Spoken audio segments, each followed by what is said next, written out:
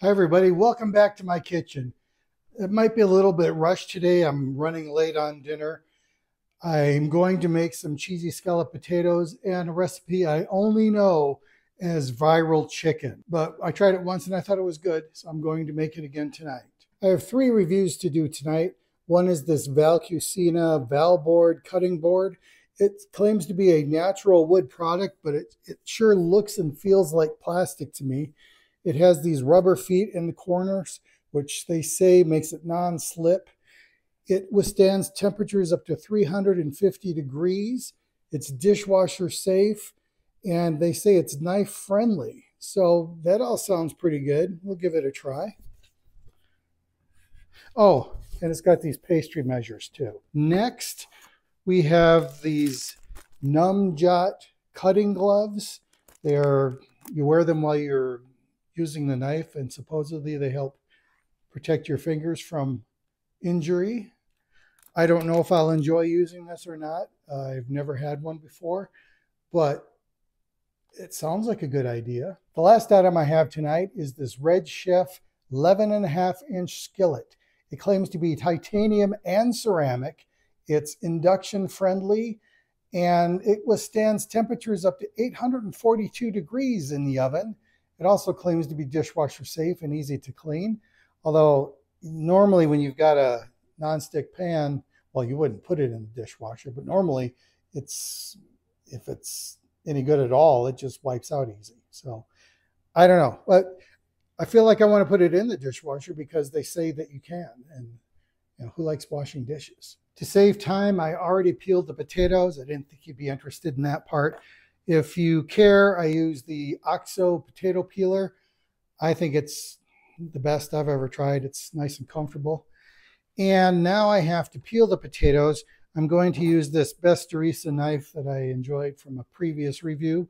And I'm going to use these cutting gloves, well, probably just one though. And one thing I found interesting in the instructions, it says, do not deliberately cut, cut, cut, stab, etc to ensure the normal use of the product. So I guess I'll just have to be careful like normal. I know these cutting gloves come in several sizes. This is size large. seems like a perfect fit to me.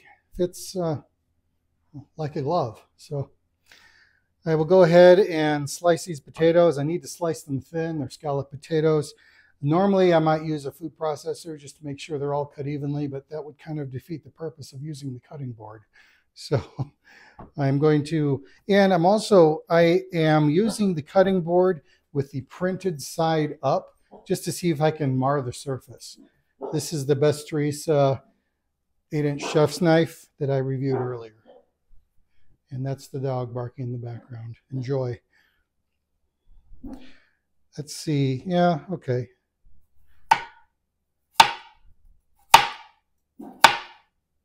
Kind of a sharp noise. Hopefully it doesn't bother your ears too much.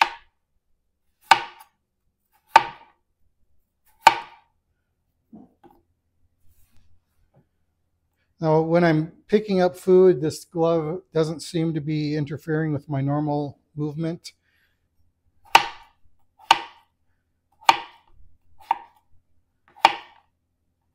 I am cutting without fear although still trying not to intentionally cut the glove. Um, do I feel like it's a less precise cut because the gloves are in the way? Um, I don't think so because it's not like you want to cut. I don't want to cut close to my fingers. Maybe you do, but I don't feel comfortable with that. So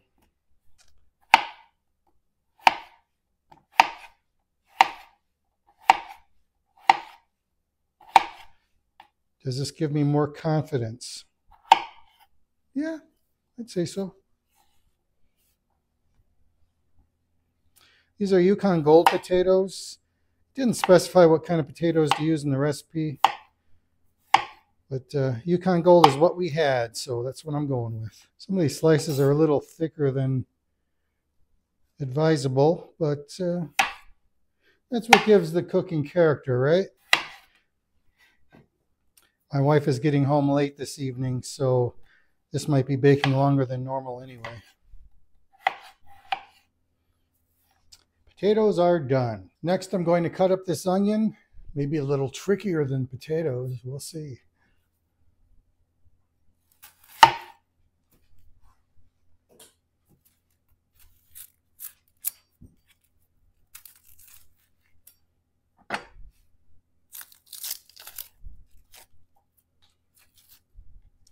Yeah, when I was doing this move here, I I gotta admit the the glove does give me more confidence or less fear, one one or the other, or both.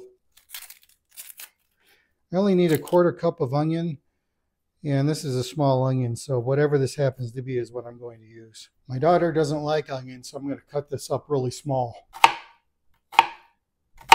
The onion is thinly cut. I did an excellent job. I'm going to break this down a little more with the Bestorisa, and then I'm going to switch to the Ulu knife for the fine mince.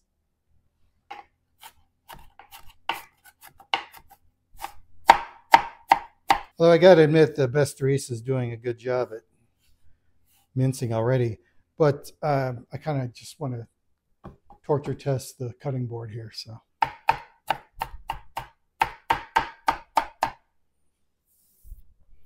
All right. That looks good. I could stop now, but like I, really want to use the ulu. and I think I'm going to have way too much onion here. So I think tomorrow night we'll have brats with uh, minced onion on top.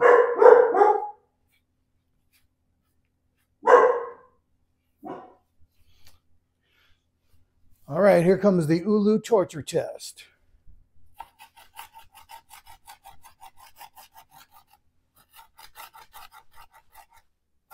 If you don't have an Ulu knife, I highly recommend it. They are so much fun.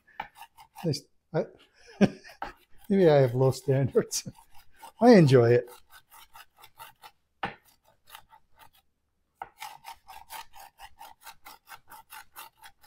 Easily amused.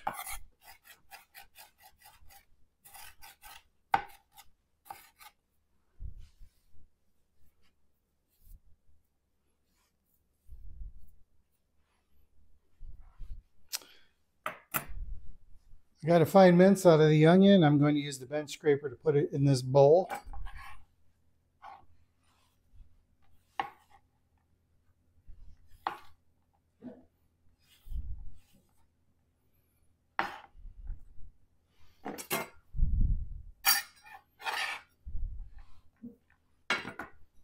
Onion is done. All right, we're ready to start making the sauce for the cheesy scallop potatoes.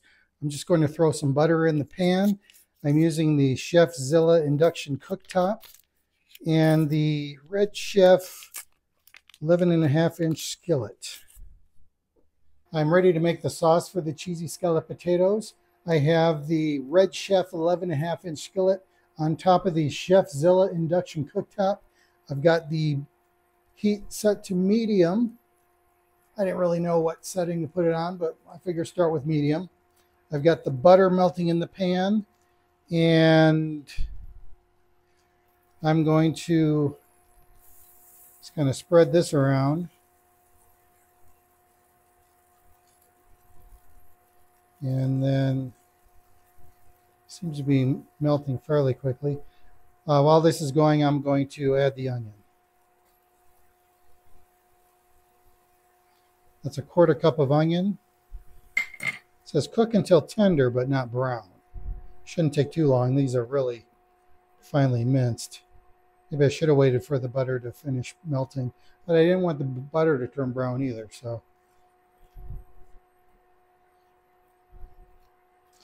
So we'll do it this way. It's, it's never an exact science, right? Well, maybe it is, and I just don't know any better. Not a professional cook. From what I can tell, there's nothing sticking to this pan yet. The butter is completely melted now. I suppose I should just taste one of these onions to see if they're getting tender. Not yet. I'm just noticing how the food is cooking on the Redchef. It looks like the middle of the pan is slightly convex. So the butter is pooling around the outside edges Not it's not completely like barren in the middle, but there is a noticeable difference. Since I don't know what I'm doing, I want to stop just before it's ready so I can look ahead in the instructions and figure out what the next step is. Yeah, I've read the instructions, but I'm always I'm never sure. Okay, next I'm going to stir in a quarter cup of flour. It doesn't say to use a sift, but uh, I always think that's the best practice.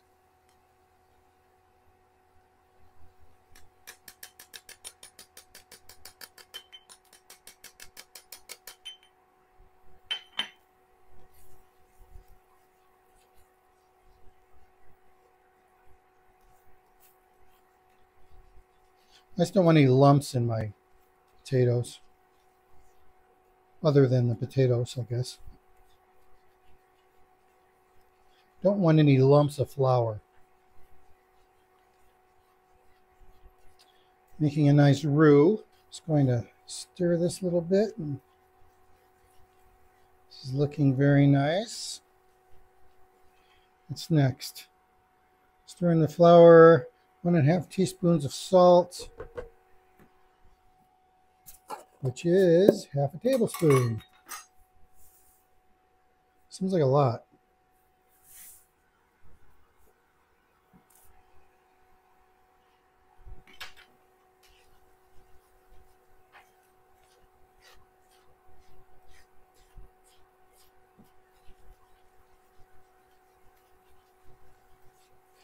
Okay, how what's next?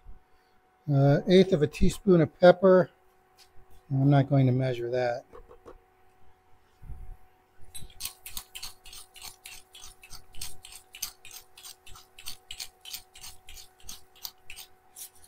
Looks good. And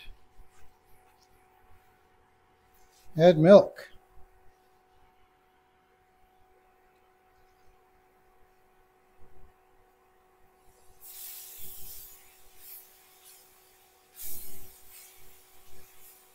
Doesn't say to add it slowly, but just seems like a good idea to me. It says cook and stir until thickened and bubbly. Make it evenly distributed with the roux. I don't want any lumps. I just realized I was supposed to reduce the amount of salt if I'm adding cheese. Oh well. I'm sure it'll be fine. I hope. Yeah, it's it's a half of a teaspoon difference. Yeah guess that's kind of a lot, but it's not an exact science. It will just save us from adding salt later. Well, it's starting to bubble. That's a good sign. Yeah, the middle is definitely hotter. But um, I don't, it, it could be by design. I don't know. I'm just noting it for your information. It says uh, cook for one to two minutes more after it starts bubbling. I should be adding cheese now.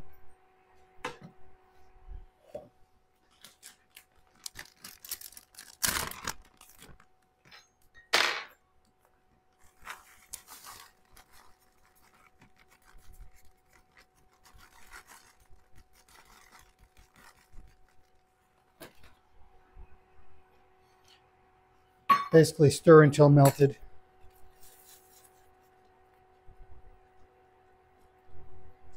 Which looks like it won't take too long. It says to use shredded American cheese. I don't have that. I'm using shredded Mexican style cheese. Whatever. I don't. Is it seasoned?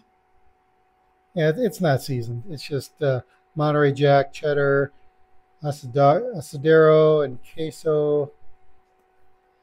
All right, this is done. I'm going to turn this off. I have a two and a half quart casserole dish here. I am going to, I already greased it. I'm going to put in half the potatoes, uh, dump half the sauce on, put more potatoes, and dump the rest of the sauce on. I think. I think that's what it says.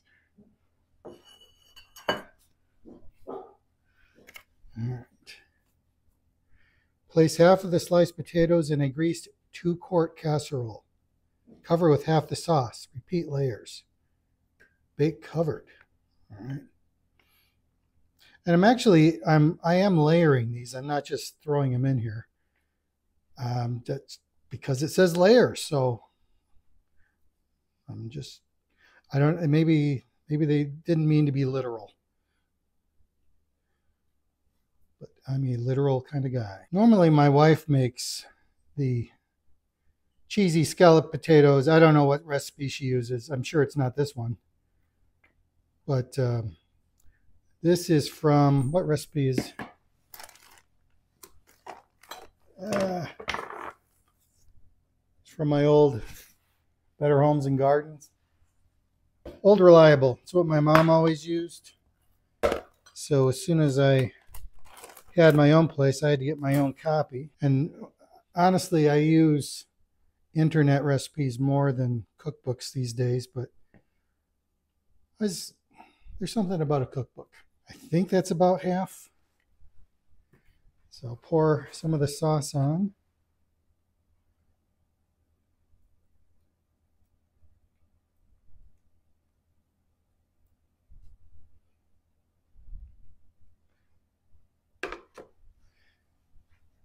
I'll spread this out a little bit.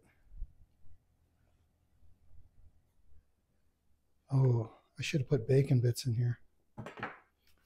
That would have been good, but didn't think of it. Just adding the second layer of potatoes now.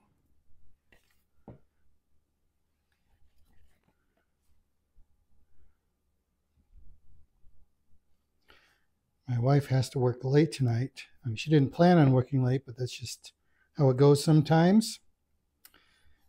And so I'm sure she'll be hungry when she gets home.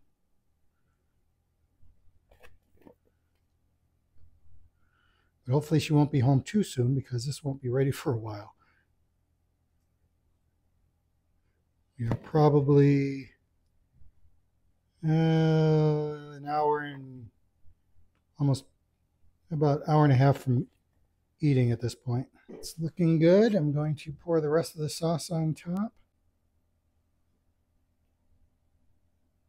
And I'll spread out the sauce evenly over the potatoes. Doesn't say to do this, but it just seems obvious. So go with your gut. This looks good. And now it says bake covered in a 350 degree oven for 45 minutes, stirring once. Set the timer for 25 minutes, stir, and then another 20. Then I'm going to take the cover off and bake it for another 30. So um, I'm going to cut away and, or maybe I'll start working on the chicken. I need to clean some of this up. I'll be right back. The potatoes are cooking, so now I'm going to do some prep for the chicken, starting with the garlic. First, I'm going to use my Gagliardo garlic peeler. I need four to five cloves of garlic, so of course that uh, translates to five cloves of garlic or more. I don't know if this is the easiest or best way to peel garlic, but I enjoy it.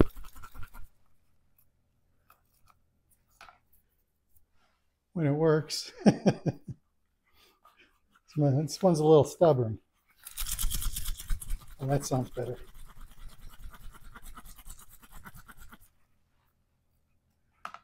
There we go.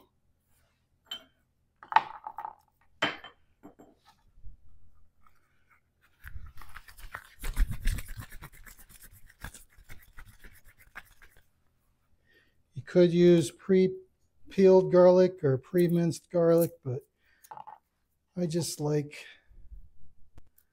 it feels more authentic when you do it yourself. I was watching a Kitchen Nightmares video today, and Gordon Ramsay said something I thought was interesting. He's, one of the chefs was using cookbooks for his recipes, and Gordon said these are for home use. They are far too complicated for a restaurant. And I just always assumed that restaurant food was more complicated than home food. But no, Gordon said that the recipes in cookbooks are designed for people in their kitchens to slave over. If it was too easy, maybe feel like you didn't accomplish anything. I don't know. It just it feels like that nothing is ever fast and easy in the kitchen, you know. At least not for me. It's always for me it always takes double the time that they say. Of course, filming slows me down, but even if I don't film, sometimes my wife and I cook together. But uh, if she's serious about cooking, she normally doesn't want my help. garlic is peeled. I'm just going to get rid of these peelings and uh, rinse this out. The garlic needs to be minced. I'm going to first give it a fine chop with the Bestorisa chef's knife, and then I'll switch to the Ulu for the rocking action. Now, I'm actually looking forward to the cutting glove with the garlic because that's always close to the fingertip work, but we'll, we'll see how that how this works.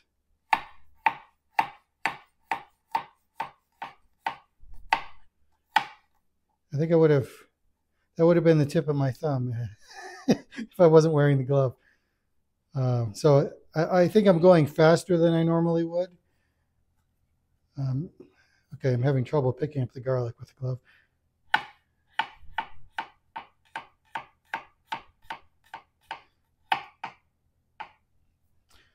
All right, definitely going faster.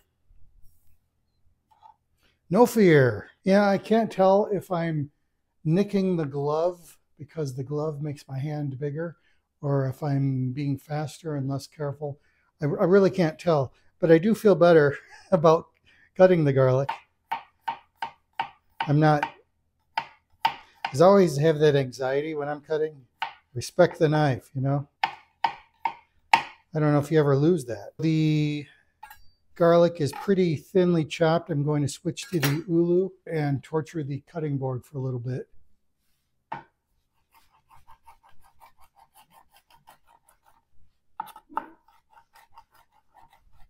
All right, that's a pretty fine mince on the garlic. So I'm going to put that back in the bowl here and look at the next step. In the next part of the recipe, I have to score the chicken and this this piece is much thicker than this one. So I was thinking I might butterfly this one. And I've never done butterflying before, but I think this glove will come in handy for that. So why not? Let's do that.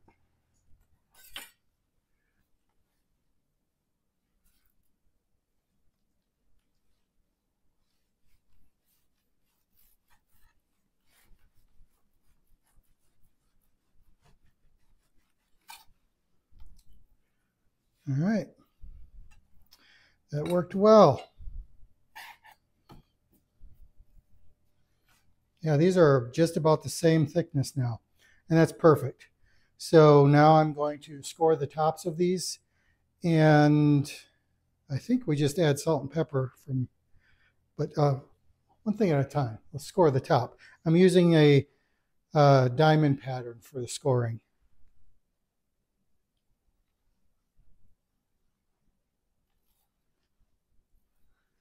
And I think we're just doing this so that the seasoning gets into the crevices.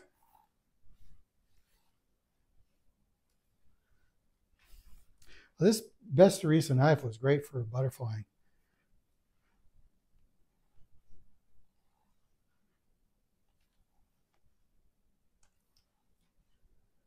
And, on, and also for the scoring, I guess.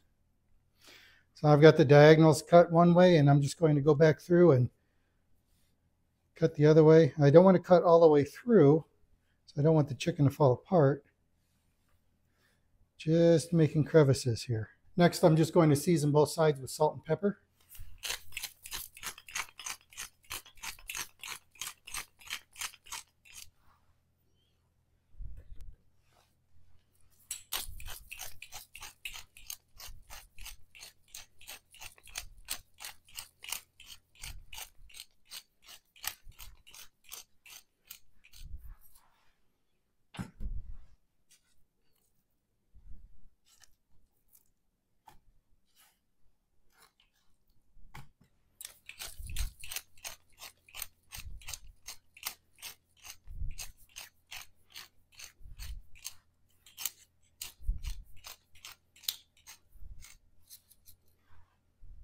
Says to dip the chicken in the flour, but I think I'm just going to use my sifter again and see where that takes me.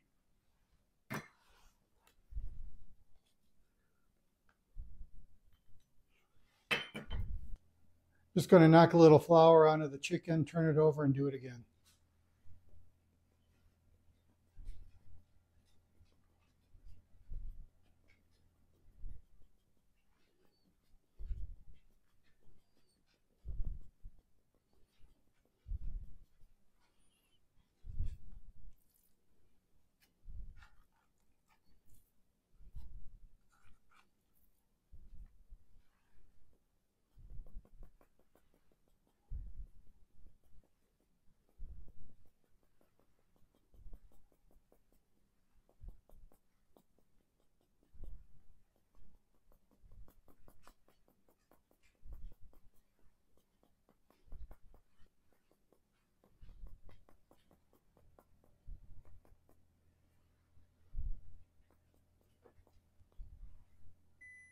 Oh, time to stir the potatoes. I can't tell if it's doing what it's supposed to do, but it's easy to stir. So I guess so. After I stirred the potatoes, I put them back in the oven covered. I'm going to cook for another 20 minutes. Then I'm going to take the cover off and cook for another 30. And it's too early for me to start cooking this chicken. So I am going to put it back in the refrigerator and resume the recording later. We'll be right back. I just rinsed the cutting board off. I, I didn't wash or anything. I just rinsed it. And I don't see any scratch marks from any of my knives. so I think that works pretty well. I'm actually going to put it in the dishwasher for my final test, but uh, you won't get to see that. The cheesy scallop potatoes will be ready in about 16 minutes, give or take. I'm going to start the chicken cooking. It's already been sliced and floured and seasoned and all that. So I'm actually just going to start the cooking process now. The next step is to melt butter and olive oil.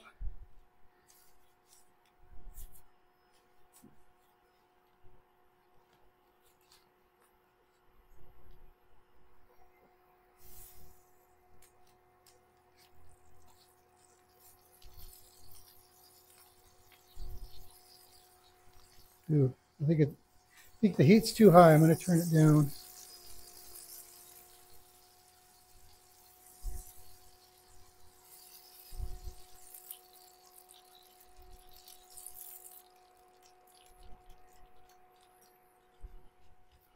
Actually, I should have added the olive oil first. Keep the butter from browning. But it's fine.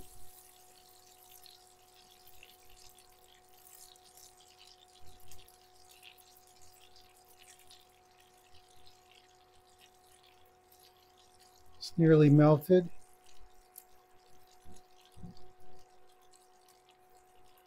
Nice and bubbly. All right, next I'm going to sear the chicken.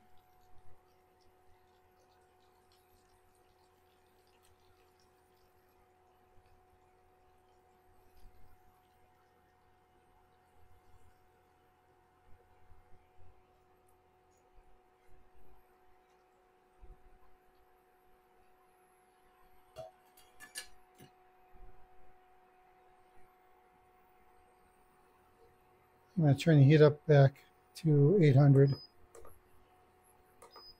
I didn't hear a lot of searing going on there. In the recipe, it never says to flip the chicken, which I would ordinarily do, but it does say to spoon the sauce over it, and maybe that will finish cooking it through. I know, I've made this before, but it's been a while. I just don't remember. There's a definite hot spot either in the pan or in the induction cooktop. So I just rearrange the pieces to make sure that they're all getting a even heat. The chicken is browning nicely, but I want it to be just a little bit more done before I go to the next step. Next, I'm going to add a third cup honey.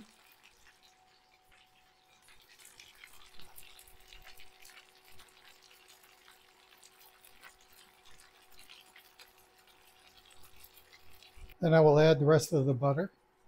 So a tablespoon. Now that that is melted, I'm going to add the soy sauce. It's a tablespoon.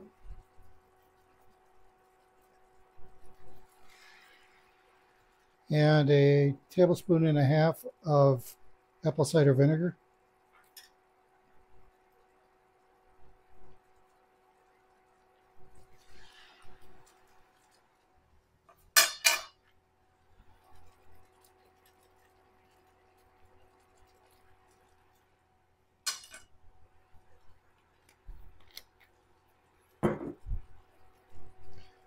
Now I just reduce the liquid.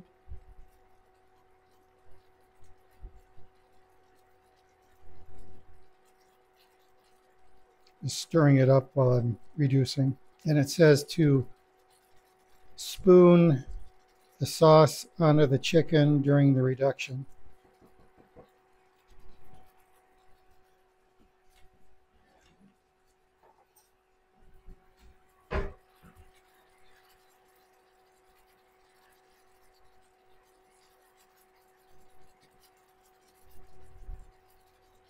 Sauce is thickening a bit.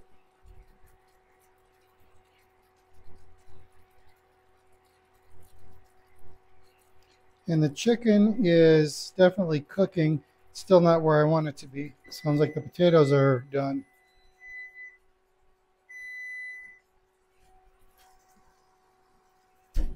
They could use a little more browning. You know, might turn the heat up a bit.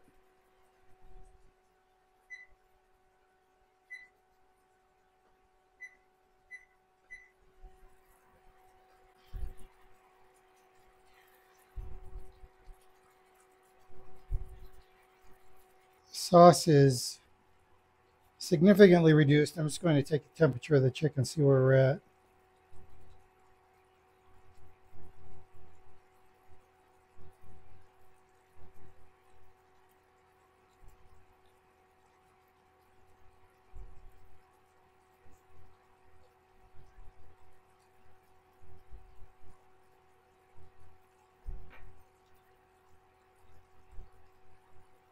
Chicken is done. I'm assuming the sauce will thicken more as it cools. So I am going to plate this up. Well, I just tried the potatoes and I don't think they're done yet. So we're going to have a potato dessert, but this is what the chicken looks like. Looks pretty good. So I'm going to uh, stop recording and I would say the Redchef nonstick frying pan is a success. It cleans up very easily. I didn't really have any problems, although I, I did notice that it wasn't heating evenly, but I don't know if that's a, a product of the of the induction cooktop or the pan itself. I might have to try this on the regular stove. Uh, the cutting board was a huge success. I'm still going to put it through the dishwasher, see what happens there. And I actually enjoyed the cutting gloves. So Uh, I would say this was a, a good a good round of tests. Thanks for stopping by.